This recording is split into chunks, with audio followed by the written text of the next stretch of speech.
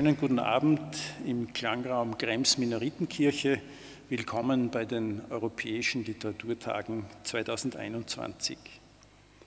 Der erste Teil des heutigen Abends der literarisch-künstlerischen Soiree fand eben gleich nebenan im selben Gebäudekomplex im Forum Frohna statt.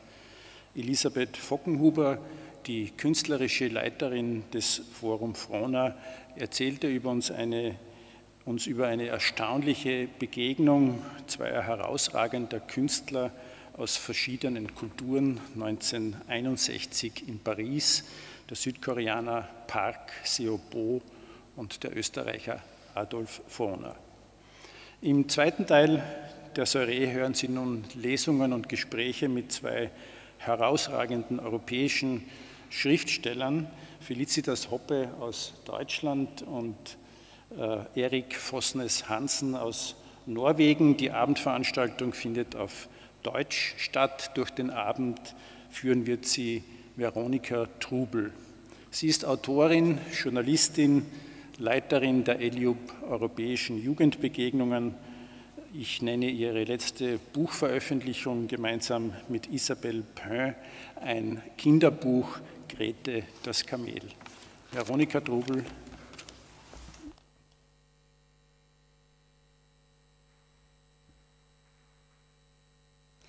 Ja, einen wunderschönen guten Abend hier im Klangraum Krems Minoritenkirche.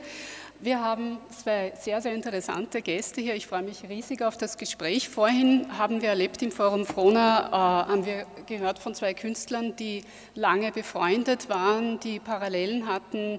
Äh, wir haben hier eine Künstlerin und einen Künstler, die Sie noch nicht kennen, die Sie hier das erste Mal aufeinandertreffen. Ein bisschen schon, das ist gut und ähm, die auch Gemeinsamkeiten haben. Und darüber werden wir heute auch zu reden kommen. Vor allem sprechen wir über ihre beiden äh, neuen bzw. jetzt zuletzt ins Deutsche übersetzten Bücher, über Hummerleben und über die Nibelungen. Und wir werden Lesungen hören und eben auch über diese gemeinsamen Dinge dann sprechen. Ja, und was sind Gemeinsamkeiten? Die erste, und beim Lesen wunderbare Gemeinsamkeit ist diejenige, dass man den Eindruck hat, dass sie beide beim Schreiben richtig Vergnügen hatten.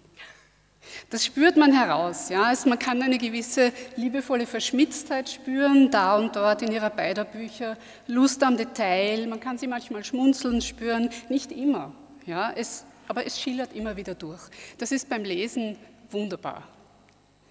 Und äh, eine zweite Gemeinsamkeit, in Ihren Büchern ist ein sehr aktuelles Thema enthalten. Bei Erik Vossners Hansen ist es ein essentieller Teil der Handlung, während es bei Frau Hoppe mehr so wildpferdartig äh, unterwegs ist. Das ist der Wandel. Äh, bei Ihnen beiden geht es um das Spannungsfeld zwischen dem Altehrwürdigen, dem Althergebrachten und dem Neuen. Etwas war früher so, klappt aber heute so nicht mehr, beziehungsweise ist etwas ganz anderes geworden. Und ähm, davon werden wir später noch ein bisschen hören. Und was auch da ist und beide verbindet, Erik Vossners Hansen hat mich gestern nochmal darauf aufmerksam gemacht, sein Buch hat tief wurzelnde verwandtschaftliche Verhältnisse, wenn man so sagen darf, zu den Nibelungen. Und äh, auch darüber werden wir noch sprechen. Zunächst bitte ich Sie mal ein bisschen um Geduld, weil ich möchte mich zuerst Frau Hoppe zuwenden und zu dem Publikum auch mal ein bisschen vorstellen. Äh, Felicitas Hoppe wurde in Hameln geboren. Sie lebt als Schriftstellerin in Berlin und in der Schweiz. Sie zählt zu den am meisten mit Preisen ausgezeichneten Schriftstellerinnen, Schriftstellern Deutschlands, bevor ich da jetzt eine lange Liste aufzähle. Sie hat praktisch alle namhaften Preise unterhalb des Nobelpreises bereits erhalten, überhäuft mit Ehrungen, Dozenturen, Trägerin des Georg Büchner Preises und Mitglied der Deutschen Akademie für Sprache und Dichtung. 1996 ging es los mit dem Erfolg Pik Das Picknick der Friseure, ein Geschichtenband. Äh, seit damals veröffentlicht sie Erzählungen, Romane, Kinderbücher, Feuilletons und sie übersetzt auch. Bekannt ist sie als Autorin, die viel reist. Das ist auch ein Grund, warum sie heute hier ist. Äh, für Pigafetta, sie war auf einem Containerfrachtschiff. Sie war, wir werden, wir werden davon auch noch äh, zum Sprechen kommen. Und ich möchte Sie, bevor wir zu Ihnen, Ihren drei Büchern kommen, die Sie heuer veröffentlicht haben, noch, doch noch aus dem Büchnerpreis Jury Jury diese, diese Begründung erwähnen, weil ich glaube, dass es ganz gut ist, um sie als, als Autorin zu verstehen, weil das doch sehr speziell ist. Äh, in der Begründung heißt es, in einer Zeit, in der das Reden in eigener Sache, in der Literatur immer mehr dominiert, das Kreisen um sich selbst quasi, ja, umkreist Felicitas Hoppe sensible und bei allem Sinn für Komik, melancholische Erzählkunst, das Geheimnis der Identität. Ja, drei Bücher haben sie veröffentlicht. Äh, Fieber 17, eine Erzählung und ein Essay. Fährmann hol über. Oder wie man das Johannesevangelium pfeift. Und die dickste Neuerscheinung sind die Nibelungen. Äh, angesichts der Entwicklungen in Österreich, wenn wir eh zu Hause sind am Montag, darf ich Ihnen im Übrigen empfehlen, äh, alle diese wunderbaren Bücher, auch von Erik Vosnes Hansen, sind sehr empfehlenswert. Dringende Empfehlung, äh, sich da und dort auch noch was zu holen. Die Nibelungen. Äh, es ist erzählt äh, als multimediales Theaterstück, wenn man so sagen kann. Äh, eine unglaublich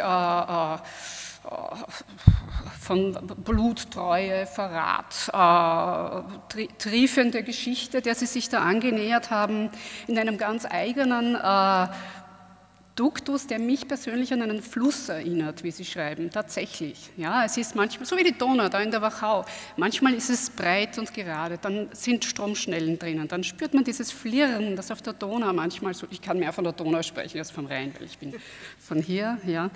Äh, sie fahren, sie machen Perspektivenwechsel, sie führen neue Figuren ein, Zwischentöne sind da, der Schatz ist bei Ihnen ein Darsteller und auch der Zwerg Zorn. Und der Zwerg Zorn, der sagt, die Nibelungen sind kein Stoff fürs Theater, weil sie durch und durch dunkel sind. Liebe Frau Hoppe, was hat Sie denn an diesem dunklen Stoff gereizt? Ja, erstmal schönen guten Abend. Schön, dass wir hier zusammen sitzen können und dass Sie da sind, trotz dieser auch etwas dunklen Zeiten. Ich freue mich sehr, dass das hier stattfindet. Ähm, es ist für mich natürlich großartig, an der Donau zu sein. Das möchte ich äh, sagen. Das ist nämlich meine erste Nibelungenlesung aus der äh, an der Donau, aus der Donau, ja. Ähm, ähm, und bevor ich auf die Dunkelheit komme, ich freue mich sehr, dass Sie das mit einem Fluss vergleichen. Ich habe nämlich so eine persönliche ähm, Wasserpoetologie. Also ich glaube, es gibt unterschiedliche Schriftstellertypen. Ähm, und die Lyrik ist für mich äh, eher das, was ich mit einem See verbinden würde, also ein kontemplatives Gewässer. Das Theater ist für mich eigentlich wie das Meer, also die Wiederkehr des Immergleichen, das Drama, Ebbe und Flut. Und ich bin, glaube ich, eine Flusserzählerin ich habe zwar auch eine Neigung zur Poesie, aber bei mir muss es vorangehen. Mhm. Und das ist eigentlich das klassische Reisemotiv, das ist sehr simpel. Es geht irgendwo los und es muss irgendwann aufhören. Mhm. Und wenn ich an einem Fluss stehe, heute war ich mal wieder an der Donau, äh, dann ist für mich das der Inbegriff der guten Prosa. Gute Prosa ist ein Fluss oder ein Fluss ist gute Prosa. Diese hier ist natürlich dunkel und ähm, es ist heute Vormittag in einem Gespräch schon mal der Begriff der Hassliebe gefallen, dass man von Dingen angezogen mhm. ist, die aber eine Herausforderung sind. Und die Nibelungen sind für mich eigentlich nie ein Hoppestoff gewesen. In meinen Büchern wird selten gestorben und im Nibelungen-Text wird, wie Sie wissen, rollen die Köpfe einer nach dem anderen und trotzdem zu verstehen, was hat es mit diesem alten Stoff eigentlich auf sich, das war ein ganz schöner Kampf. Sie haben das Vergnügen erwähnt, aber es gab auch Etappen, wo ich mhm. gesagt habe, nee, also das, äh, das mache ich jetzt nicht weiter. Mhm. Äh, Sie haben in einem Interview die Nibelungen als Erzählmaschine bezeichnet. Also auf die Frage quasi, weil der Untertitel ist ja ein deutscher Stummfilm. Jetzt glaubt wahrscheinlich ganz viele Leute werden glauben, das ist ein Bezug auf den Stummfilm von Fritz Lang. Da gibt es ja einen Film, Die Nibelungen. Aber bei Ihnen ist das nicht so einfach. Ja, Sie sagen, es ist eine, eine Erzählmaschine, in der die Dinge nur deshalb so funktionieren, weil nicht kommuniziert wird, sondern es wird getan. Die Dinge sind irgendwie unausweichlich, alle hauen hin, keiner denkt nach, niemand vermittelt. Ähm, und es ist letztlich in einem Stummfilm, wie in einem Stummfilm oder auch wie bei Tom und Jerry, fiel mir eigentlich dazu Ja. Wie ist äh, das? Äh, wir haben es ja hier vom Urstoff her mit einem mittelalterlichen Stoff zu tun und das darf man, glaube ich, auf keinen Fall vergessen. Unser Hang dazu, äh, Stoffe zu psychologisieren und Figuren so zu nehmen, dass wir immer denken, was habe ich mit der Figur zu tun? Mhm. Oder wer wäre Kriemhild heute? Oder was war Siegfried eigentlich für ein Typ? Ich glaube, das ist ein bisschen der falsche Ansatz, weil äh, diese Figuren sozusagen Positionen bezeichnen. Sie haben kein Innenleben mhm. und ähm, alles, was sie tun, tun sie durch ihre Handlung. Wir lernen sie durch ihr Handeln kennen und durch ihre Requisiten. Das Mittelalter ist sehr veräußerlicht. Was man nicht sieht, ist nicht da. Und das ganze Unglück der Geschichte kommt eigentlich nur in Gang, weil dieser tumbe Siegfried so unklug ist, äh, den Zaubergürtel, den er Brunhild in der Hochzeitsnacht abnimmt, äh, seiner Frau zu zeigen. Also auf so eine Idee muss man erstmal kommen. Und im Zeigen, in der Präsentation des Requisits beginnt das Unglück seinen Lauf zu nehmen vor dem Dom zu Worms und von da an wissen wir, es gibt kein Halten mehr. Und das meine ich mit Erzählmaschine. Ein Wort gibt das andere, ein Kopf lässt den nächsten rollen. Und das ist eine Technik, die ich tatsächlich vom Stummfilm kenne. Mhm. Und Sie wissen, Stummfilme sind grausam, also ob das jetzt dick und doof ist oder Buster Keaton oder so. Aber, und das ist interessant, wir lachen uns falls wir das mögen, nicht alle mögen Stummfilme, wir lachen uns buchstäblich tot. Mhm. Ist es das, was so schwierig war für Sie, dass Sie die Figuren nicht verstehen sollten oder dass, dass, Sie, dass Sie da nicht hinein konnten, quasi sich die, die Motive hinterfragen? Ist, ist das die Schwierigkeit gewesen? Weil Sie haben gerade vorhin beschrieben, dass es schwierig war für Sie immer wieder. Was war das Schwierige? Ja, das Schwierige ist, dass man eine Nähe sucht, die eigentlich nicht da ist. Also, dass ich sage, die Figuren sind kalt ich kann mich mit ihnen nicht identifizieren und trotzdem schillern sie auf eine Art und Weise, äh, die uns anzieht, weil es natürlich etwas gibt, was wir kennen. Wir kennen einen Anteil von Siegfried, wir, wir, wir kennen Momente, wir kennen Liebe, wir kennen Rache, ähm, wir kennen diese ganzen Intrigenspiele und dass wir heute kommunizieren und natürlich versuchen, diplomatisch zu sein, entspricht unserer zivilisierten Haltung, aber im Grunde genommen sind uns diese triebhaften Handlungen nach wie vor sehr vertraut. Mhm. Und sie ziehen uns an, aber sie erschrecken uns natürlich auch. Mhm. Und dann ist sofort der Wunsch da, das möchte ich reparieren, das möchte ich verbessern. Ähm, warum können die nicht mal in Ruhe miteinander reden? Und aber man merkt in dem Moment, wo man das täte, wäre die Erzählmaschine kaputt und das Vergnügen am Erzählen würde nicht mehr funktionieren. Das ist dann ein literarisches Problem. Die Action ist dann weg, oder? Äh, die ja. Action ist weg, wenn die dann da sitzen und sagen, ach weißt du, eigentlich müssen wir nicht an die Donau und die Donau und sowieso und da hinten an der Donau wird alles so merkwürdig. Ähm, bleiben wir zu Hause, auch davon wird gesprochen in dem Text, mhm. aber natürlich lebt er von der Dynamik des Unausweichlichen. Mhm. Und das macht dann irgendwie doch Spaß. Äh, sagen Sie, weil wir doch hier an der Donau sind. Die Donau hat ja eine wichtige Rolle äh, ähm, in Ihrem Buch, äh, ist auch ein ganzes Kapitel der Donau gewidmet. Die Donau steht für das Weibliche, wenn ich das richtig verstanden habe, im Gegensatz zum Rhein, der männlich konnotiert ist. Wie ist denn das, wenn Sie da jetzt wieder mal an diesem Fluss stehen? Haben Sie sich noch was zu sagen, Sie zwei? Naja, also dass die Donau für das Weibliche steht, ist eine Behauptung der Figur des Schauspielers, der Hagen spielt. Ich sehe das ein bisschen anders. Was tatsächlich so ist, es gibt, da wir hier äh, in dieser Gegend sind, Sie kennen wahrscheinlich alle oder viele von Ihnen dieses wirklich prachtvolle Buch von Claudio Magris, Die Donau.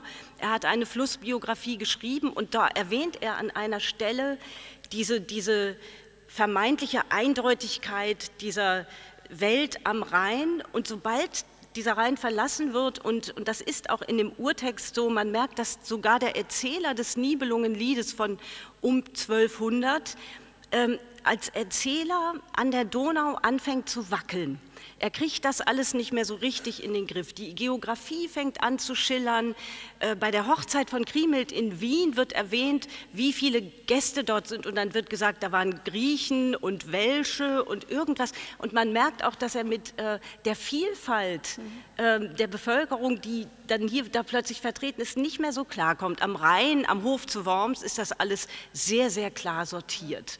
Und es sind zwei der Text, der Urtext zerfällt dann wirklich in zwei Teile. Und wenn ich jetzt hierher komme, vor vielen Jahren war ich schon mal in Krems und da hatte ich gerade die Idee gefasst, äh, die Nibelungen zu schreiben und ich spazierte an die Donau und stand da und dachte, ja, liebe Donau, das bin ich dir schuldig. Wenn ich die Donau nicht gesehen hätte, hätte ich das Buch nicht fertig geschrieben.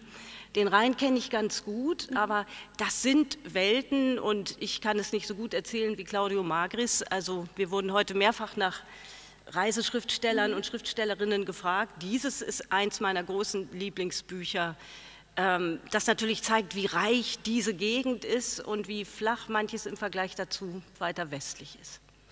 Ähm, ein kleiner Einschub, Sie werden beide heute auch noch nach einem Lieblingsreisebuch gefragt werden am Schluss. Vielleicht können Sie auch schon mal kurz äh, darüber nachdenken. Äh, eine Frage möchte ich doch noch stellen.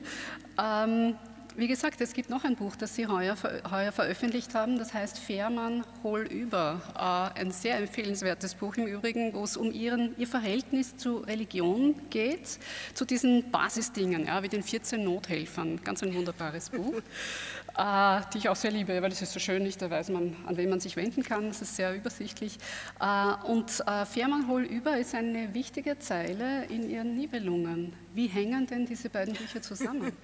Äh, da halten Sie jetzt den Finger auf einen, naja, nicht wunden Punkt, aber einen sehr äh, ähm, markanten Punkt, möchte ich sagen, weil der Fährmann natürlich eine meiner Lieblingsfiguren ist. Wenn man Sinn für Wasser hat und für Schiffe, dann weiß man, dass der Fährmann entscheidend ist. Das ist natürlich eine Figur, die metaphorisch unheimlich aufgeladen ist. Es ist der Fährmann, der uns ähm, nach dem Tod vielleicht ins, ins, ins Jenseits bringt, in eine andere Welt. Und das heißt, es ist eine Figur, die, glaube ich, für das Reisen emblematisch ist weil sie zeigt, dass wir immer, es geht um den Transit. Ja? Wir, heute wurde auch von natürlichen Grenzen gesprochen. Der Fluss ist eine Grenze, die automatisch da ist. Eine, die, und, und dann ist da jemand, der offenbar weiß, wie man nach drüben kommt. Mein Lieblingsheiliger ist der heilige Christophorus, weil der sich dieser Aufgabe unterzieht, die eigentlich nicht so attraktiv ist, zu sagen, ich bringe die Menschen von der einen Seite des Flusses auf die andere. Das tut er auf Zuruf hin und her. Das ist eine ermüdende Aufgabe, da gehört eine bestimmte Routine dazu. Ähm, das fasziniert mich unendlich, diese Figur, jemand, der jemand anderen trägt, der jemand anderen begleitet. Im Nibelungenlied kehrt sich das auf grausame Weise um. Hagen erschlägt an der Donau den Fährmann ganz brutal und er zerschlägt, nachdem das andere Ufer erreicht ist, das Floß in Stücke.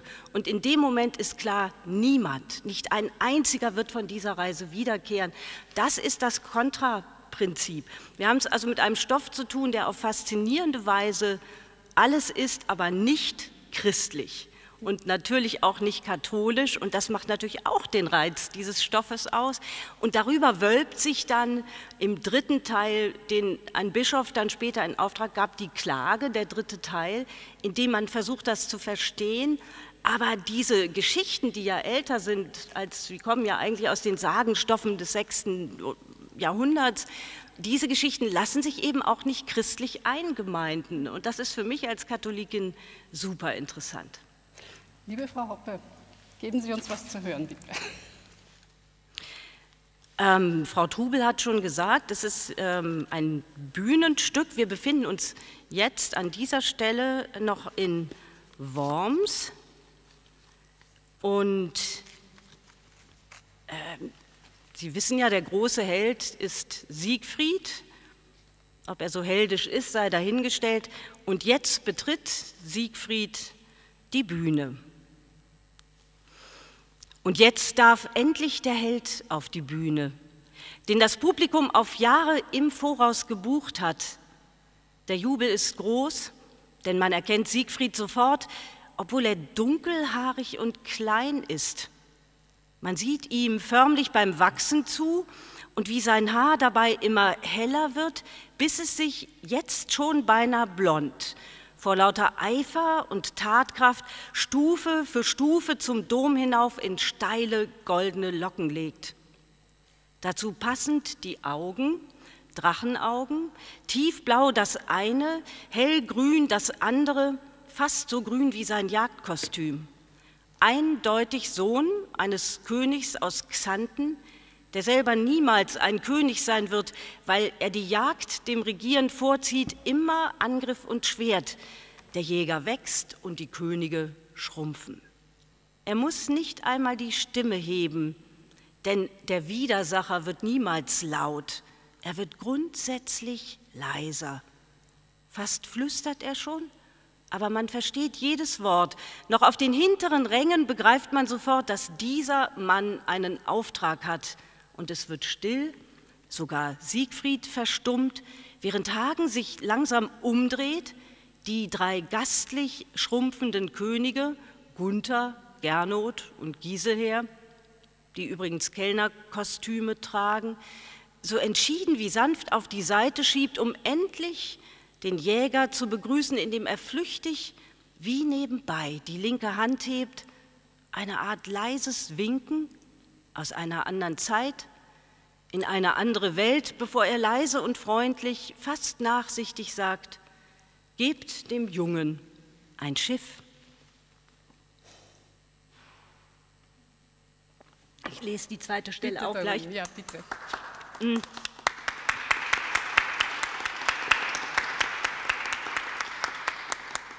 Und ich hänge eine zweite kleine Stelle an, damit Sie den Mann, den Widersacher, den Bestatter aus dem europäischen Ausland, der Hagen, der ja als die böseste Figur in diesem Buch gilt, in dem es eigentlich keine Guten und Bösen gibt.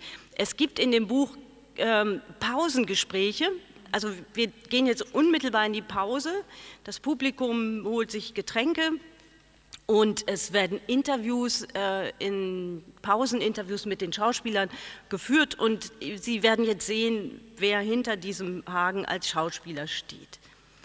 Ähm, in der Umkleide herrscht gehobene Stimmung, denn Siegfrieds Tod ist vom Tisch, während der Bestatter bei Bratwurst und Bier nicht nur uns, sondern auch seinen Fans lautstark erklärt, dass diese ganze Geschichte nicht stimmt, denn Erfahrungsgemäß ist es völlig unmöglich, nach der Pause in einer einzigen Nacht den Schatz von Worms nach Lochheim zu bringen, weil sich im Lauf von über 6000 Jahren der Flusslauf des Rheins verändert hat.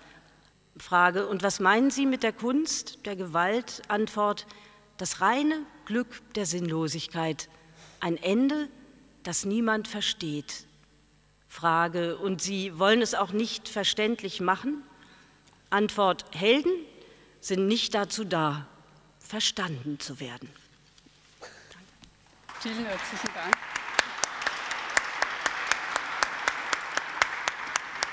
Hagen, der Mann, Hagen, der Mann mit der Stirn, hinter der nie gegrübelt wird, Felicitas Ruppe. Wir kommen zu Ihnen, wir kommen zu Erik Vossnes Uh, vielleicht ganz kurz ein bisschen Information. Er wurde uh, in New York State geboren, uh, wo sein Vater als Reisebüromanager gearbeitet hat. Er wuchs dann in Oslo auf, wo er auch heute noch lebt, war zwei Jahre in Stuttgart in Deutschland. Sein erstes Buch Falkenturm mit 18 Jahren war in Norwegen bereits ein literarisches Ereignis. Sein zweites Buch, ein internationaler Bestseller, Choral am Ende der Reise, eine ganz wunderbare Geschichte. Die Musiker äh, auf der Titanic, äh, die hat er mit, mit äh, Biografien versehen von einem Musikliebhaber wie Erik Vosnes Hansens. Ein wunderbares Buch. Er hat dafür den wichtigsten, einer der wichtigsten literarischen Preise Norwegens bekommen, den ich jetzt hoffentlich richtig ausspreche, den Riksmalprisen. Stimmt das? Nicht schlecht. okay. Und Sie sind nach wie vor der bisher jüngste Preisträger dieses. Ist das noch? Ja, das kann sein. War es mal so? Okay. Ich denke schon. Viele andere Auszeichnungen sind. Äh, inzwischen nicht mehr der jüngste Preisträger. Ich bin ja älter Nein, jetzt geworden. Nicht, aber ja. damals und seither, das war ja. so. Okay. Gut. Äh, viele weitere Preise sind zu nennen.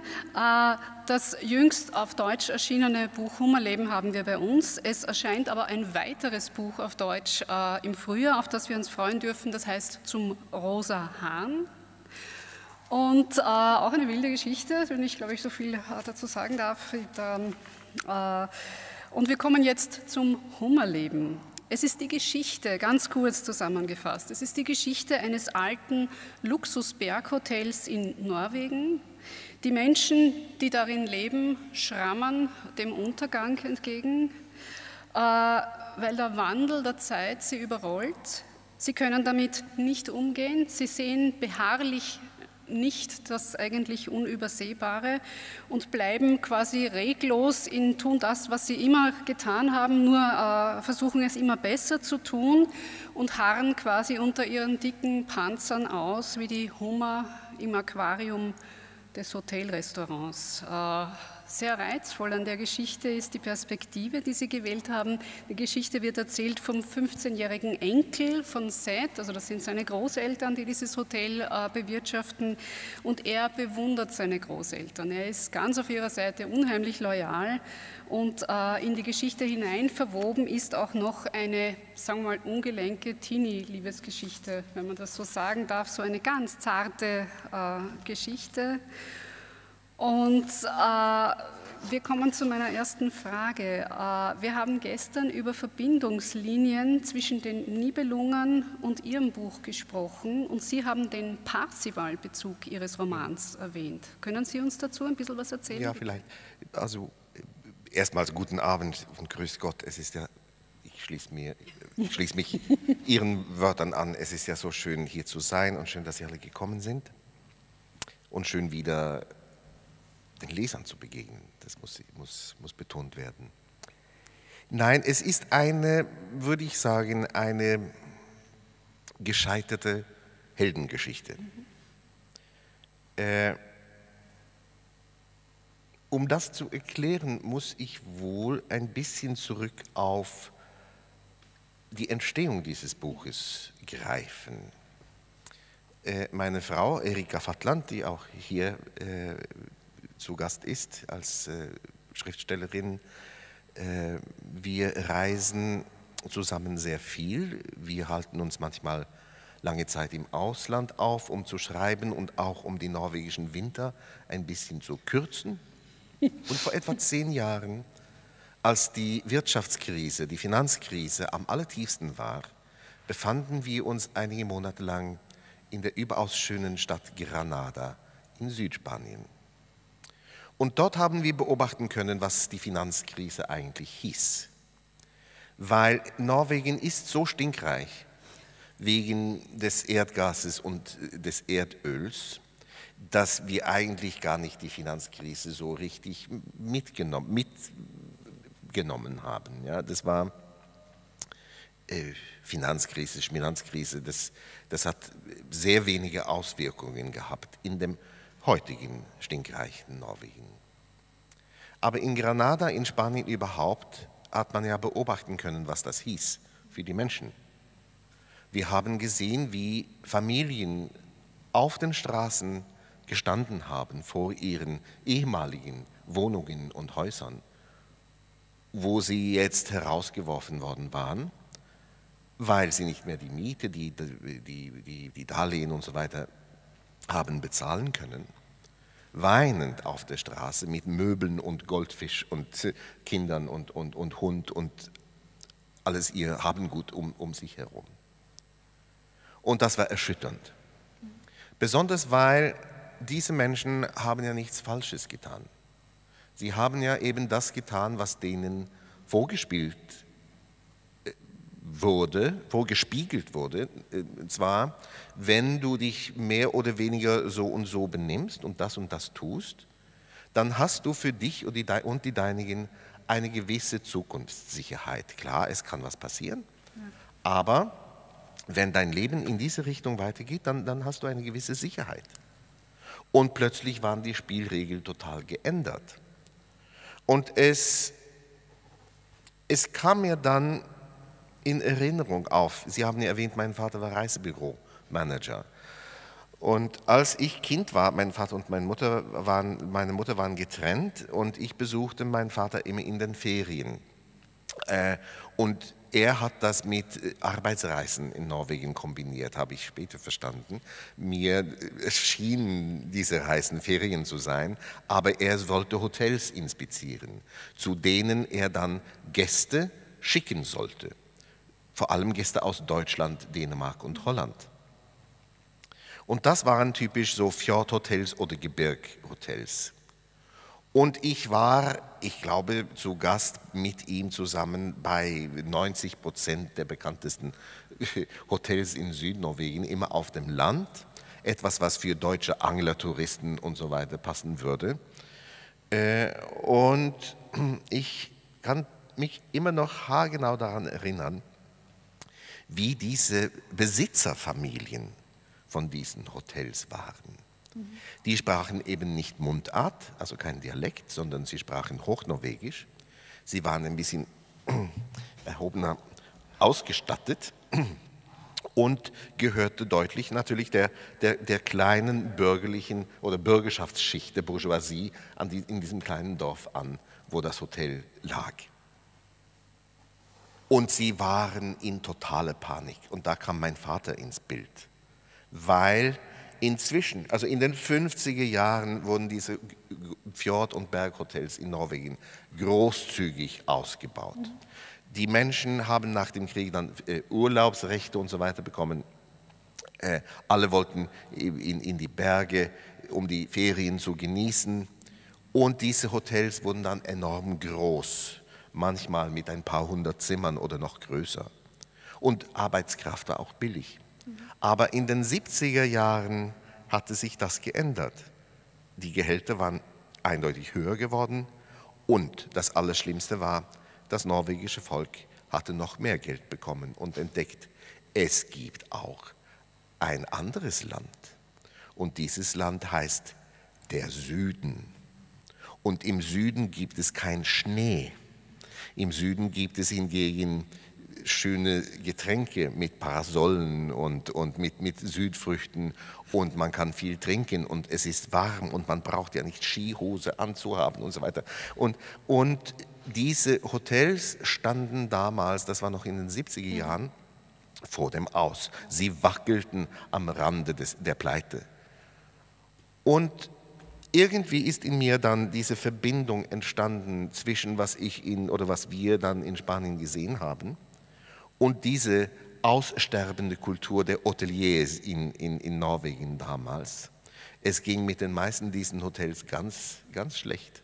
Mhm. Äh, und dann habe ich gedacht, über die Finanzkrise, so wie ich sie hier sehe, kann ich nicht schreiben. Oder könnte ich vielleicht, aber ich, bin, ich komme nicht aus Spanien, ich bin nicht Ökonom, ich bin nicht Journalist. Ich kann aber versuchen zu erzählen, wie das eigentlich auf Menschen einwirkt, wenn plötzlich die Spielregeln total verändert worden sind. Und so habe ich gedacht, also eine solche Familie, die irgendwie dastehen als Symbole einer ausgehenden Kultur, eine aussterbende Lebensform, wenn Sie wollen. Und mein Hauptperson, und jetzt komme ich auf Ihre Frage endlich zurück. Frage, ja. Mein Hauptperson ist der Sed. Sedgwick heißt er eigentlich. Also er hat einen besonderen Namen. Und er sieht sich selbst, er ist 15 Jahre alt gerade geworden, als das Buch anfängt. Und er sieht sich selbst als Held. Er möchte natürlich, Sie haben gesagt, er bewundert seine Großeltern. Seine Mutter ist irgendwo in ein Ashram in Indien vielleicht verschwunden, vielleicht gestorben, man weiß es nicht so richtig. Sein Vater war der indisch abstammende Distriktsarzt, der im Moment der Beschwangerung äh, seiner Mutter, seiner 16-jährigen Mutter, also 16 Jahre früher, gestorben ist an Herzinfarkt. Also er ist ein Weise, der, ist, der hat keine Eltern und er wächst bei diesen ziemlich bürgerlichen äh, Großeltern auf, da hoch oben in den Bergen, also weit weg vom Dorf unten im Tal. Und er wird dadurch ein bisschen besonder, also ein bisschen sonderbar, ein bisschen merkwürdig. Er wird so wie ein Parzifal irgendwie unberührt von, von, von den Realitäten äh, der, der, der Gesellschaft, sondern er wächst da auf. Also zum Beispiel, äh, wir sind ja 1982, das ist kein Jahr, das ich zufällig gewählt habe. 1982 war der große Hit auf den Hitlisten war We Don't Need No Education von Pink Floyd. Sie kennen, Sie werden das alle kennen, aber Sed findet ja, das ist zwar ein schönes Lied, aber erstens, man braucht doch eine Ausbildung. Und zweitens sollte es ja auf Englisch heißen, we don't need any education. Und er ist so ein bisschen, ein, ein bisschen pedantisch, ein bisschen, äh, ein bisschen bürgerlich, auch wenn er so jung und ein, er ist ein Teenager. Ich stelle mir vor, später, lange nachdem das Buch zu Ende ist, ist er vielleicht ein Punk geworden oder dann geht es also in eine wirklich, er, er, er hat einen Aufruhr, aber das, er ist noch nicht da. Und er sieht sich als Held. Und dieses Heldenmotiv, taucht im Buch mehrmals auf. Das Hotel heißt Fovnesheim und Fovne ist auf Norwegisch der Name der Drache, der von Siegfried getötet wird. Und äh, dieser kleine Kahn oben im, im, im Waldsee heißt Fovne 2. Und ähm, es, ist, es ist ja auch ein überaus benutztes Motiv in der Kinder- und Jugendliteratur das Kind als Held oder zwar das Kind als Magiker. Ja, von Pippi Langstrumpf bis Harry Potter. Das Kind als Magiker, also ein Wesen, das durch sein pures Kindsein eigentlich alles retten kann und die Welt der Erwachsenen heilen kann. Nur wir wissen ja als Erwachsene und die Kinder wissen ja es ja auch eigentlich. So ist es in Wirklichkeit nicht. Diese Heldengeschichten für Kinder geben natürlich den Kindern ein, einen moralischen Halt, also eine Hoffnung für das Kontrolle Leben. Kontrolle vielleicht ein bisschen, das Gefühl von Kontrolle, oder? Ja, ich denke ja. schon. Ja. Aber in Wirklichkeit ist es ja auch, es ist ja nicht so. Also der Mutter und die Mutter und der Vater, die sagen so, sie sagen zum kleinen Jan, Jan, also jetzt musst du dich zu uns setzen, wir müssen ernsthaft mit dir reden. Und der Jan sagt, ja, ja, also, ja was habe ich gemacht? Also, ich habe nichts gemacht. Sagt, nein, nein, darum geht es nicht. Aber du weißt, dein Vater, der arbeitet ja sehr hart und und jetzt hat er eine neue Stellung bekommen in Trondheim. Trondheim, wo liegt denn das? Wo ist Trondheim? Das, ja, das ist 700 Kilometer nördlich von hier. 700 äh, Kilometer, ja, schön, also gut für den Vater. Aber wir müssen umziehen. Umziehen nach Trondheim. Aber äh, also, die kleine Marianne, mit der ich so befreundet worden und mein, meine Freunde und so, äh, nein, das geht nicht, ich will nicht umziehen. Das, der ist 14 Jahre alt vielleicht. Und dann sagen die Eltern zu ihm, aber Jan, jetzt sei doch erwachsen und vernünftig. Du musst umziehen. Ein Kind sitzt im Gefängnis irgendwie, ist ja, ist ja irgendwie dem Preis gegeben, was die, was die Erwachsenen äh, für ihn oder für es äh, entscheiden. Und doch gibt es diese, diese Neigung, diese, äh, wie soll man das nennen, dieser Wunsch, ein Held zu sein. Und da ist Sed. Und er heißt ja mit Namen Sedgwick. Das ist auch nicht zufällig. Sie kennen bestimmt aus Fernsehen zu Weihnachten diesen Film vom kleinen Lord. Und der heißt Cedric. Und der ist ja auch so ein Beispiel für ein Kind als Magiker. Dieser kleine Cedric aus New York kommt bei diesem bösen, furchtbaren, furchtbaren Herzog da in England an. Und der ist so, er hat, er hat Rheuma und er kann nicht mehr reiten. Und er hat seine Kinder zu Tode gequält und die Diener auch. Und er ist furchtbar ein Tyrann, er ist ein schrecklicher Mensch, der Earl von Dorin Court. Mhm. Und dann kommt der Cedric Sed heißt er übrigens auch mit C dann im Film. Der kommt an und er hat goldene Locken, Siegfried Locken. Er ist ein Held, acht Jahre alt mm, und er ist so niedlich. Und man sieht plötzlich, dass das ist kein Kind, das ist ein Engel, das ist Christus, der irgendwie zu diesem Herzogen gekommen ist, weil der Herzog wird total ver ver verwandelt, verzaubert durch das Kind und wird plötzlich zu einem guten Menschen. Ja, also wirklich ein Beispiel von Superrealismus in der Kinderliteratur. Ja. Aber eine überaus schöne Geschichte ist sie immer noch. Ja, und ihr seht, der ist tatsächlich ein Held, äh, wie wir äh, in der Lesung dann auch noch hören werden. Der ist ja wirklich unglaublich mutig, äh, was er alles tut. Ich möchte jetzt trotzdem zu einer anderen Frage kommen. Ich möchte nämlich in die Rahmenhandlung gehen zu den Hummern, äh, die Sie immerhin auf die, auf den, in den Titel gehoben haben. Also es ist nur eine ganz kleine Geschichte. Äh, und ich möchte auch nicht zu viel vorgreifen, aber ich möchte doch vielleicht zwei Hummer vorstellen, die äh, relativ wichtig sind. Also in diesem, in diesem äh, altehrwürdigen Hotel gibt es eben auch ein Hotelrestaurant, wo es auch wirklich so im großen Stil getafelt werden könnte, wenn denn wer da wäre.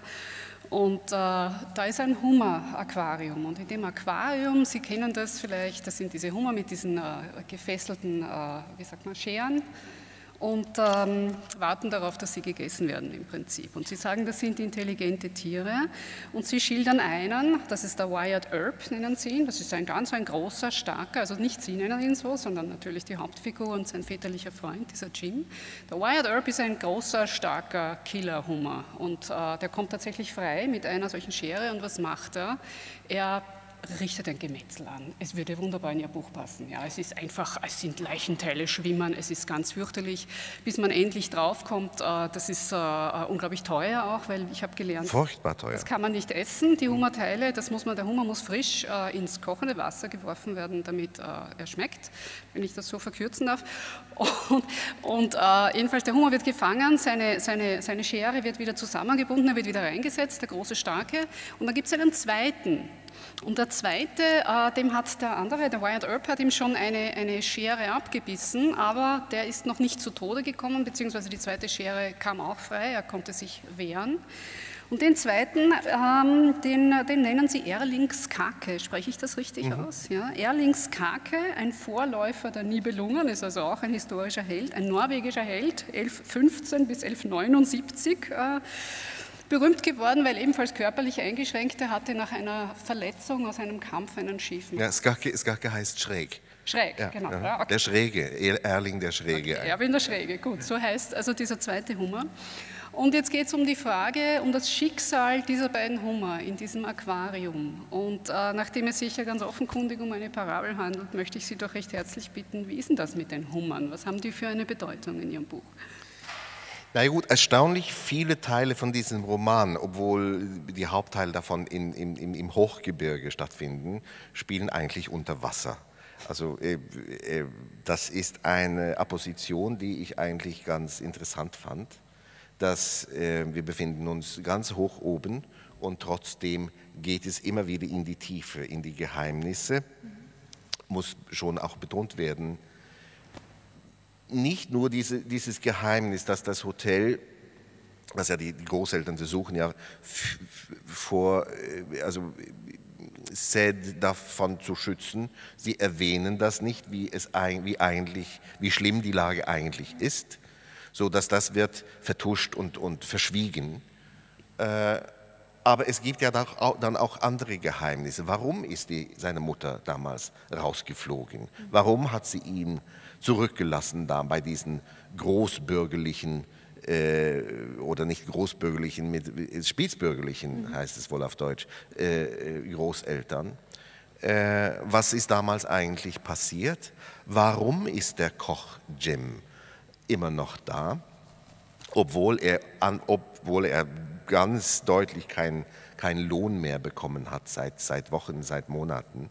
Warum geht nicht der Großvater äh, zu einem Anwalt und sagt, ich gebe auf, ich melde den Konkurs an, die Pleite an, ich, ich, ich kann nicht weitermachen. Äh, es gibt da Geheimnisse, die irgendwie in der Tiefe, unter der Oberfläche verborgen sind. Und das ist ja eine Art von Bildungsroman von diesem jungen Mann. Wir sind ja da in 1982. Es, gibt da, es gab, erinnern Sie sich bestimmt, es gibt ja etliche hier, die dieses weit entfernte Jahr noch miterlebt haben. Und es war alles sehr anders. Es kam mir vor, als ich Recherche zu diesem Buch gemacht habe, wie andersartig, also wie total andersartig die Welt von 1982 war. Zum Beispiel man hat, es, gab, es gibt ja da im Hotel ein, keine Faxmaschine und kein SMS, natürlich auch kein Computer, aber es gibt ein Telex, eine Telexmaschine. Haben Sie das jemals? Ja, ja. Wer hier kann sich an Telexmaschinen noch erinnern? Also die Telexmaschine, genau, mein Vater hatte im Reisebüro eine Telexmaschine. Diese Telexmaschine hatte ein eigenes Zimmer im, in der, im Reisebüro. Und immer wenn ein Telex ankam, dann fing das ganze Haus an zu hüpfen. Man plötzlich so, hum, sagte diese Maschine und dann hunk und hunk, hocke, hocke, hocke, hocke, hocke. Und dann plötzlich zitterte und dirrte das ganze Haus und dann endlich kam eine Mitteilung heraus und da steht, die Touristen kommen morgen um 9 Uhr mit der Fähre an und das kostete dann 2000 Kronen oder so etwas nur, um diese einfache Mitteilung zu schicken. Und naja gut, er hat wenig, äh, er hat wenig Hobbys, er ist Philatelist, er hört, er hört natürlich Radio, aber Radio, das endet ja um Mitternacht, also er hat viel Zeit, um nachzudenken, der Sed, da oben in diesem Hotel. Und seine Großmutter, die, die ist, ja, ich wollte dann damals natürlich, als ich das Buch schrieb, ich wollte also wirklich die spießbürgerlichste Frau äh, schildern, die ich mir überhaupt vorstellen konnte. Und dann habe ich gedacht, wer ist sie, wer soll sie sein? Dann habe ich gedacht, sie muss geborene Österreicherin Ja, sein. ganz wunderbar. Das führt Sie ist, kommt, dann, sie, also der Großvater, sie heißt, äh, Sisi heißt sie tatsächlich, also die, die heißen alle Sisi, die ja. heißen alle Sisi.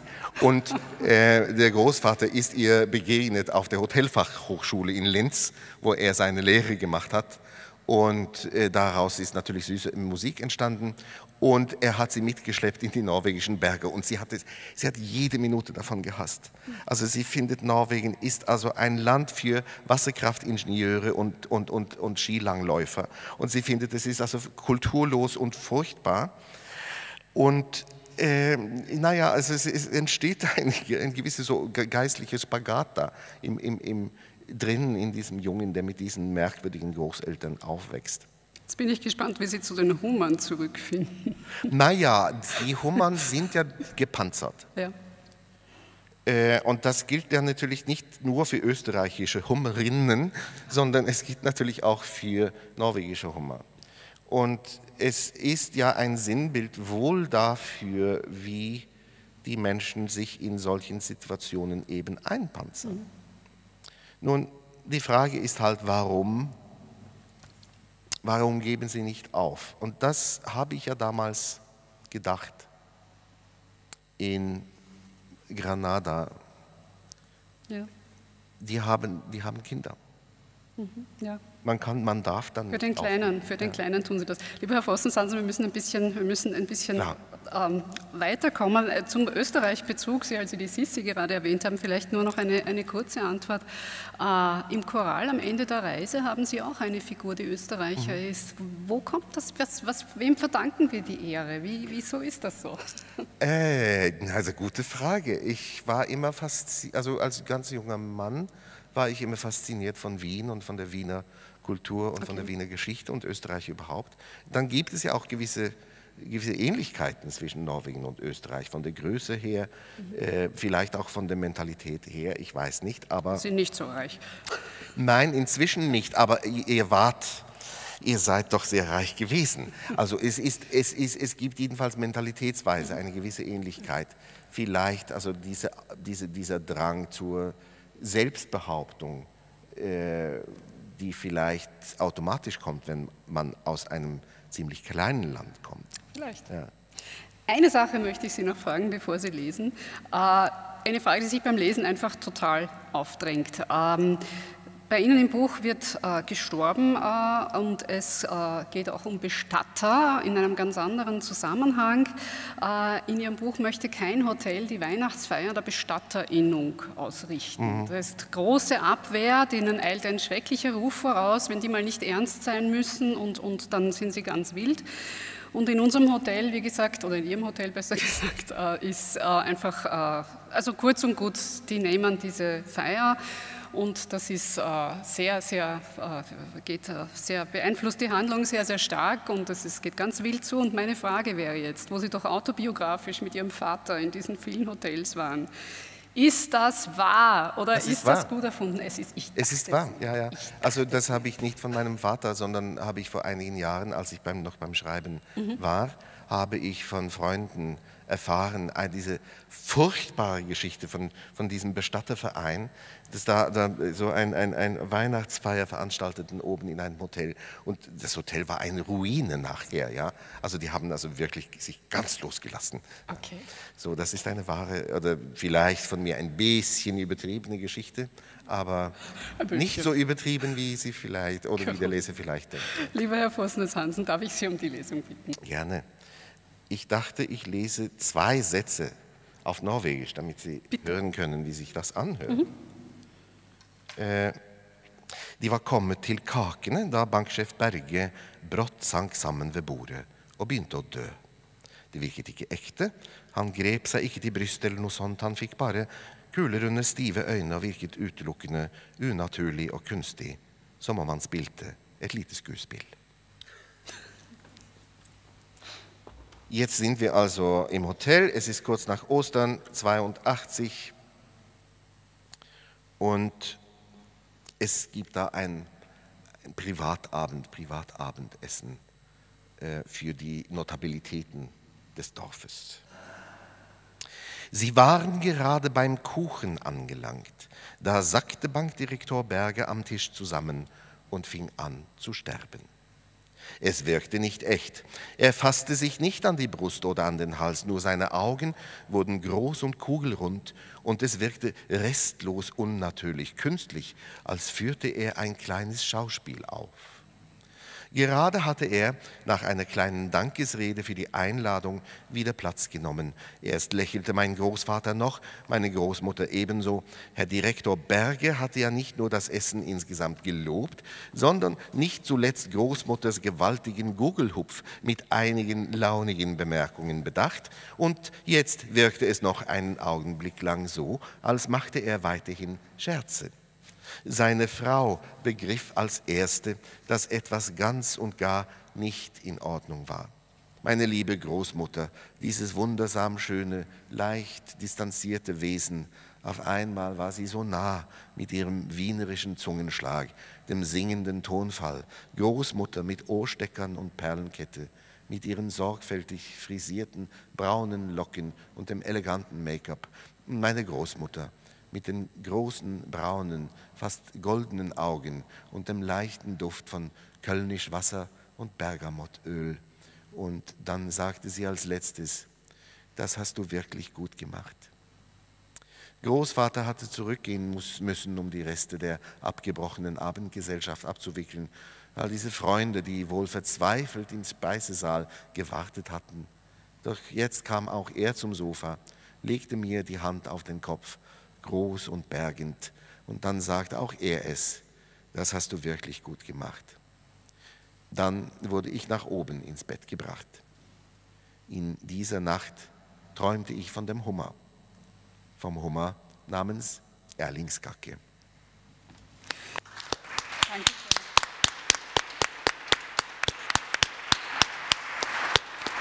Ja, er ist ein Held, aber er kann das niemandem erzählen. Äh, mehr, mehr erfahren Sie darüber im Buch Hummerleben. Wir sind über der Zeit, ähm, aber äh, ich möchte Sie fragen, äh, Sie sind ja nun beide in Mythen getaucht, schwimmen quasi in einem ähnlich bis gleichen Becken. Daher die Frage an Sie, liebe Frau Hoppe.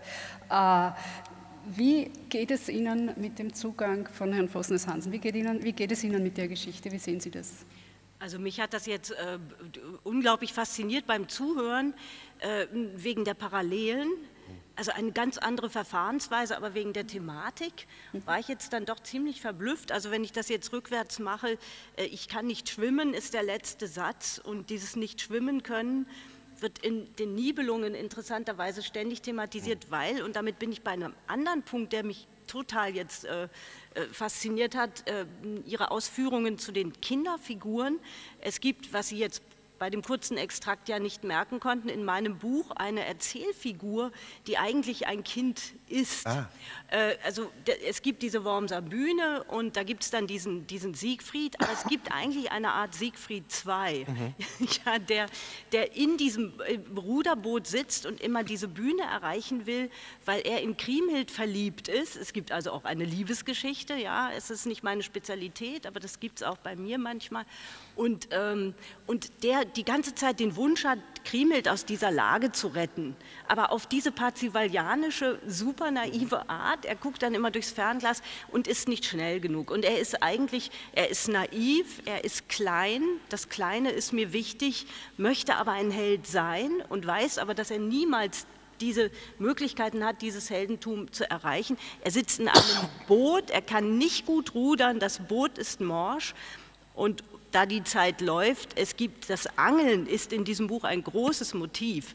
Als Hagen versucht, die Donau zu überqueren, weigert sich der Fährmann, der zuständig ist für die Fähre und sagt, lass mich in Ruhe, ich möchte, ich möchte in Ruhe angeln. Und das Motiv des Angelns im Gegensatz zu dem des Kämpfens, also ich, ich bin begeistert. Es ist erstaunlich. Es ist wirklich eine vollkommen natürlich andere Herangehensweise der Beschreibung, aber und um dann noch eins draufzusetzen, was die Kinderfiguren betrifft, ich weiß nicht, ob wir gestern Abend drüber sprachen, aber es ist sehr offenkundig, dass äh, die berühmte Astrid Lindgren mit ziemlicher Sicherheit, mit an Sicherheit grenzender Wahrscheinlichkeit ähm, äh, das Vorbild für Pippi Langstrumpf ist für sie mit Sicherheit Brunhild aus der Nibelungen-Saga gewesen. Also man darf davon ausgehen, dass Astrid Lindgren diese Sachen aus dem FF kannte als äh, Schwedin. Und um dem Ganzen die Krone aufzusetzen, das gefällt mir natürlich nicht. Der Nibelungen-Schatz liegt natürlich nicht im Rhein. Er kommt ja eigentlich aus Norwegen aus Niefelheim. Also das heißt, deshalb wundert mich auch gar nicht, dass Norwegen so stinkreich ist. Ähm, und das sind jetzt alles Dinge und Motive, die aber, wenn ich das ja. so zusammenfassend sagen darf, glaube ich, mit etwas zusammenhängen, was Sie ja offenbar genauso fasziniert wie mich äh, und, viele von uns. Es ist das Wasser. Mhm. Es ist das Wasser und ich glaube, deshalb habe ich intuitiv meine äh, Geschichte natürlich an den Flüssen orientiert. Deshalb heißt das der Rhein, die Donau und am Ende die Klage. Und man sieht ja, welches irre Potenzial das Wasser, mhm. das Wasser birgt. Also ich könnte noch viel mehr dazu sagen, aber das in Kürze. Ja, und auch das Überqueren des Wassers. Ne? Also Sie haben ja den Fährmann äh, erwähnt. Ja. Ich dachte dann auch an den Titel Entschuldigung, den Titel des Papstes, Pontifex Maximus, ja, der ja, große ja. Brückenbauer, also der, der sozusagen diese Grenzen, diese Limes überquert. Und ich glaube, in einer Geschichte handelt es ja immer davon, ich weiß nicht, ob Sie derselben Meinung sind, aber eine Geschichte soll ja an eine Grenze stößen und sie womöglichst überqueren. Naja, wir haben heute ja viel über Grenzen gehört und letzten Endes, wir können ja reisen, so viel wir wollen, irgendwann. Das äh, ist ja die Frage, was, was dann kommt oder wohin es dann geht. Und äh, äh, das heißt, ja, natürlich sind das genau diese, diese Dinge, mit denen man konfrontiert ist. Und das ganze Unternehmen ist ambivalent. Und das mhm. würde ich gern doch noch zum Schluss sagen. Die, das ist der, also die Gewalt, die hier geschildert wird in dem Versuch, Leben zu retten in einem meiner frühen Bücher heißt es, wer schwimmen kann, kommt nur langsamer um. Das hm. ist in Pigafetta über meine Weltumrundung auf dem Containerschiff, weil man sagt, das ist Schwimmen ist nicht unbedingt immer äh, von Vorteil. Hm. Und äh, wenn, wenn, Hagen zum Beispiel diesen Fährmann ertränkt, also dieses ganze Ringen um Atem, also Atem spielt ja in den Textstellen hier eine ganz große Rolle. Und daran sieht man, wie äh, aufgeladen das ist. Und nicht zuletzt die Figuren, die aus, dem, aus dieser Ferne kommen und die dann plötzlich als Fafner 1 und 2 bei Ihnen dann äh, offensichtlich verfolgen uns die Motive. Auch das mhm. war heute Morgen ein tolles Thema. Die zugeschaltete Kollegin Kapa hieß sie oder mhm. heißt sie, mhm. die so wunderbar sagte, auf, hinter unserem Rücken stehen diese Ahnen ja, man könnte auch sagen, wir stehen auf den Schultern von Riesen. Wir sind ja äh, nicht originell in dem, was wir erzählen, mhm. sondern wir profitieren unendlich von dem. Und in dem Sinn ist Pippi Langstrumpf kein Kind. sie ist eine zutiefst dämonische Figur. Und deshalb gefällt mir dieser Hinweis auf die Kindermagiker, die Helden sein möchten, die klein, schwach und gefährdet sind und trotzdem der vorausscheinend sind, also mit dieser eigentlich furchtbaren Welt natürlich in Verbindung stehen und kämpfen. Und sie haben uns zwei Kampfpassagen par excellence, ja. die ja. an Gewalt nicht hinter dem zurückbleiben, was das Gemetzel in den Nibelungen ist, nur anders eben. Ne? Ähm, wir sind, wie gesagt, schon ein bisschen über der Zeit. äh, und ich möchte Ihnen beiden doch auch noch eine Frage stellen, die all unseren Gästen gestellt wird und wurde. Sie haben auch ein bisschen den Bogen jetzt schon geschlagen zum Reisen, zum Thema der Europäischen Literaturtage in diesem Jahr. Äh, und ich möchte Sie doch fragen, was für Reisende Sie beide sind, Herr Fussnes-Hansen. Was für Reisende wir sind. Was Sie sind. Wie reisen Sie? Wie ist das bei Ihnen? Ich reise ungern, aber ich komme gerne an. Das würde meine Frau sagen. Also wir gehen, sie ist ja eine geübte Reisende, meine mhm. Frau, die Erika Fattland. Und das heißt, ich bin dann gezwungen, manchmal mit ihr zu reisen. Das tue ich natürlich auch. Das tue ich natürlich auch gerne.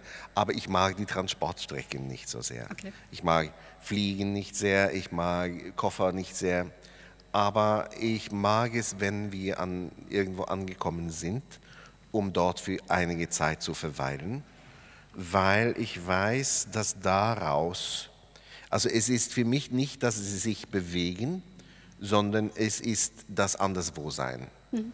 was mich daran reizt eigentlich. Äh, ich weiß nicht, ob man mich dann einen, überhaupt einen, Reisenden, einen Reisenden nennen kann, aber ich, ich mag in einer anderen Wirklichkeit oder auf einem anderen, an einem anderen Ort zu sein, um mich dort einbilden zu können, dass ich ein anderer bin. Sie kommen ja? gerne Also ich sehe ja nicht zum Beispiel mhm. sehr typisch norwegisch aus. Ja? Und ich habe ein gutes Sprachohr. Und das heißt, dass ich kann in Italien, kann ich den Italiener vorspielen. Und hier kann ich ein, ein, den Österreicher vorspielen mhm. und kann mir dann auch vorstellen, na, wie ist es denn? Wie wäre es denn, wenn ich in, in, in Milan, äh, in Mailand geboren wäre oder in Wien oder mhm. was, was wäre dann aus mir? Wie ist eigentlich die Wirklichkeit hier? Also eine gewisse Teilnahme an der Wirklichkeit der anderen zu haben. Das ist, was mir am Reisen am meisten gefällt, eigentlich dort zu sein. Aber dass sie sich dorthin bewegen, ist furchtbar, okay. grauenhaft. Ja? also da, und nur unter schreck, schrecklichen Szenen im Flughafen okay. von Oslo passiert das, ja. Und was wäre ein Lieblingsreisebuch? Also mit Ausnahme der meiner, von den Büchern meiner Frau natürlich, die ich äh, sehr schätze, auch wenn ich sie mehrmals gelesen habe äh, ja, aber das spricht für die Qualität der Bücher, weil sie, sie hat so ein, ein Einlebensvermögen in, in, den, in, die, in die Schicksale der, der vielen, vielen Menschen, mhm. denen sie begegnet. Aber ich, komm, ich würde auf Claudio Magris zurückgreifen eigentlich. Mhm. Ich, wir sind uns zum ersten Mal begegnet, vor vielen, vielen Jahren, 1990 in Oslo. Da glaube ich, da kam er mit, mit der Donau aus, auch auf Norwegisch. Und äh, dieses Buch habe ich damals gelesen mit, es, war, es ist ja erstaunlich, es ist, es ist ja wirklich die Geschichte einer, einer ganzen Welt. Mhm. Und ich, ich kehre immer wieder zu diesem Buch zurück, genau wie ich zu, zu ihm persönlich, aber auch zu, zu, seinem, zu seinem Övre, zu, zu, zu seinem Werk zurückkehre. Er ist ein, ein großer Schriftsteller und ein großer Humanist und es ist doch merkwürdig, dass er nicht den Literaturnobelpreis bekommen hat. Kann ja noch passieren. Kann ja noch passieren, ja. Dann darf ich die Frage gleich an ja. Sie wenden, bitte. Was sind Sie für ein? Immer denkt an Sie, an Na, ein Containerschiff. Äh, was schon wieder eine Parallele. Ähm, ähm, wenn Sie sagen, ja. äh, das Ankommen. Also für mich ist das, der schönste Moment des Reisens ist, wenn ich wieder zu Hause bin. Also das Gefühl ist überstanden. Jetzt habe ich es mir hintergebracht. Ja, ja. es ist äh, etwas und das Nachhausekommen hat für mich einen ganz große, großen Reiz und um das zu erleben, muss man aufbrechen. Die Containerschiffreise ist ein gutes Beispiel dafür, dass ich im Gegensatz zu ähm, dem, was wir auch heute mm, Vormittag hier gehört haben, dass ich in dem Sinn keine Abenteuerreisende bin. Die Containerschiffreise habe ich nur wegen einer Wette gemacht. Ich habe behauptet, ich würde um die Welt reisen, was ich nie wollte. Das Konzept der Weltreise interessiert mich null. Ähm, und dann musste ich das aber irgendwie einlösen. Und dann habe ich gedacht, wie komme ich um die Welt mit möglichst geringem Aufwand? Und das Ergebnis war das Containerschiff. Sie steigen in Hamburg ein, Sie warten vier Monate und Sie sind wieder in Hamburg. Und ähm, das ist, ähm, das klingt jetzt slapstickartiger, als man, als, und man wohnt ja dort in einer Kabine und ähm, es ist die Idee eigentlich äh, ähnlich dessen, ich habe zwar nicht, ähm, nicht Russland umrundet, aber die Welt und das Interessante ist, man ist fast die ganze Zeit auf dem Wasser und sieht ja eigentlich die Welt nicht. Es ist also auch keine Weltreise, aber ich fand es wunderbar. Und darüber habe ich einen Text geschrieben, der heißt Fracht sein ist alles. Also auch der Wunsch natürlich nach einem Moment von Bewusstlosigkeit, deshalb schlafe ich auch so gerne im Zug und andere sagen, man kann eigentlich nicht schlafen, weil draußen so viel passiert. Und das andere ist, und dann bin ich fertig, ich bin eigentlich eine fremdbestimmte Reisende. Ich lasse mich unheimlich gerne irgendwohin einladen, weil mich das von der Frage entlastet, wohin reise ich als nächstes. Also ich gebe die Entscheidung für meinen Zielort gerne ab und nur auf diese Weise bin ich an Orte gekommen, an die wäre ich freiwillig niemals gefahren. Und damit bin ich bei meinem äh, Links, abgesehen von äh, der Reisenden Ella Maillard, eine Schweizerin, die mit Annemarie Schwarzenbach fuhr, Fotografin war mhm. und wunderbare Reisebücher geschrieben hat, ist mein aktuelles Reiselieblingsbuch Das zweier Russen, Sowjetrussen eigentlich, Ilf und Petrov, ein äh, Schriftsteller-Duo, die sind 1900 ähm, 36 im Auftrag oder 35 im Auftrag der sowjetischen Zeitschrift Pravda äh, vier Monate durch die USA gereist und mhm. haben eins der besten, tollsten Reisebücher geschrieben. Das heißt, das eingeschossige Amerika, das ist mein Lieblingstravelog über die Vereinigten Staaten. Und diese Reise habe ich 2015 nachgereist mit drei ähm, Freundinnen und Freunden, bildende Künstler, äh, und daraus ist auch ein Buch entstanden, Pravda, eine amerikanische Reise. Und daran sehen Sie wirklich, wie wenig selbstbestimmt ich reise. Das Buch war so toll, dass ich diese Reise auch machen wollte, auf den Schultern derer, die vor mir da waren. Ja. Dankeschön. Liebe Frau Hoppe, lieber Herr Vossner, er will noch was darf sagen. Ich, Ganz was Kurzes. Darf ich Bitte, ja. schnell, schnell etwas hinzufügen, was ja. ich vergessen habe? Der Übersetzer, der wunderbare Übersetzer meine, meines mhm. Buches aus dem Norwegischen ist Hinrich Schmidt-Henkel. Also ihm alle Ehre, weil ohne ihn hätte ich das Ihnen nicht heute Abend vorlesen können. Das habe ich vergessen zu erwähnen. Gut, guter ja. Punkt, ja, vielen Dank. Äh, Ihnen auch recht herzlichen Dank. Äh, ich möchte Sie, und danke auch für Ihre Geduld, weil wir haben tatsächlich ziemlich überzogen, äh, und ich möchte Sie auch noch einmal aufmerksam machen auf den Büchertisch da hinten, Seiten, wo alle diese Bücher liegen, äh, über die wir gesprochen haben heute. Und äh, wir wollen uns verabschieden und ich wünsche Ihnen noch einen schönen Abend.